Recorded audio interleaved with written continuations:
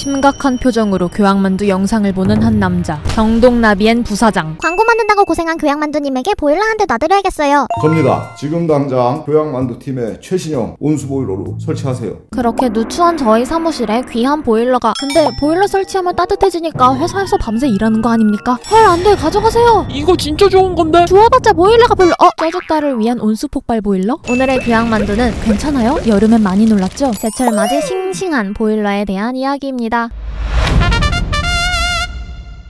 추운 밤 옷깃을 여미며 집 밖에 나오는 엄마. 손 안에서 식칼을 꺼내 연탄을 갈아 끼웁니다. 어 근데 방 안에 연탄가스 들어와. 정신 차려. 동치미 마셔.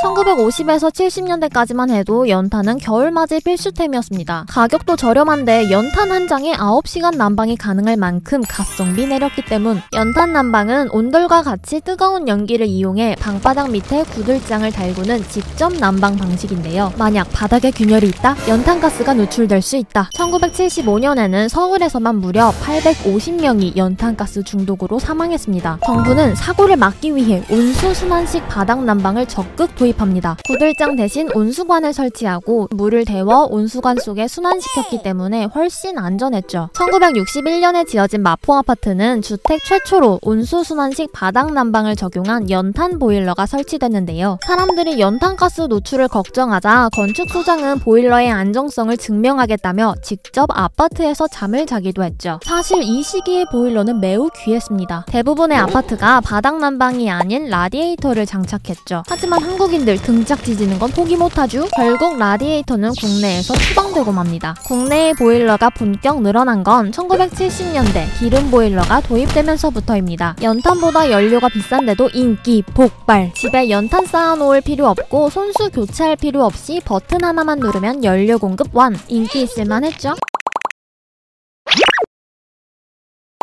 1986년 정부는 에너지 다원화 정책의 일환으로 액화 천연가스인 LNG를 도입했습니다. 사람들은 자연스레 기름 보일러에서 가스 보일러로 갈아타기 시작. 가스 보일러의 보급률은 93년도에 64만 대였는데 99년에는 100만 대로 폭풍 성장을 합니다. 아 당연 기름 탱크 넣을 필요도 없지. 연료 떨어졌다고 채워 넣을 필요도 없지. 주방에서 가스 밸브만 돌리면 요리도 쌉 가능. 근데 갓벽해 보이는 가스 보일러에도 문제가 하나 있었으니 대기 오염. 오래된 가스 보일러가 연 소될 때 배출되는 질소 산화물이 미세먼지의 주 원인이 됐던 겁니다. 이 점을 보완한 게 콘덴싱 보일러. 콘덴싱은 배기가스의 열을 한 번 더 사용하는 친환경 고효율 기술인데요. 자연스럽게 열 효율을 극대화시켜버립니다. 심지어 오래된 가스 보일러를 콘덴싱으로 바꾸면 질소 산화물이 87% 감소, 20년생 소나무를 연간 137그루 심는 효과가 콘덴싱이 우리나라에 등판한 건 1988년 국내 최초, 아시아 최초 개발템이었는데 반응이 싸늘하다. 당시 사람들은 친환경에 큰 관심이 없었고 콘덴싱이 일반 보일러보다 두세 배 비싸다는 이유로 외면받았습니다. 유럽 등 선진국에서는 오래전부터 콘덴싱을 의무화하거나 보조금을 지원한 데 반해 우리나라는 관련 정책이 없어요. 없다. 가격 아니, 커버가 없어요. 불가능했다. 그러거나 말거나 콘덴싱에 꽂혀버린 이 기업 콘덴싱 광인의 길을 걷습니다. 그리고 30년 뒤인 현재 환경 문제가 전 세계 화두가 되면서 콘덴싱 이꼴 친환경이라는 인식과 함께 드디어 빛을 받게 되죠. 존버에 성공한 콘덴싱 처돌이가 누구냐? 경동나비엔 30년 동안 존버한 이유가 뭡니까? 6.25 전쟁 중이었어요. 사람들이 땔감구 한다고 나무를 베니까 산이 죄다 민둥산이 되는 겁니다. 질 좋은 연탄이 있으면 사람들이 나무 벨 일 없지 않을까 싶었죠. 그렇게 나무가 다시 잘 자라 산이 무성해졌으면 하는 마음으로 연탄 사업을 시작했고 그 마음이 콘덴싱 조돌이로 이어진 겁니다. 보일러 하면 흔히 겨울 계절템으로 생각하죠. 근데 요즘 집들은 단열이 잘 돼서 겨울에도 바닥이 끓을 만큼 보일러를 틀진 않습니다. 하지만 우리는 사계절 내내 보일러를 사용하고 있죠. 온수.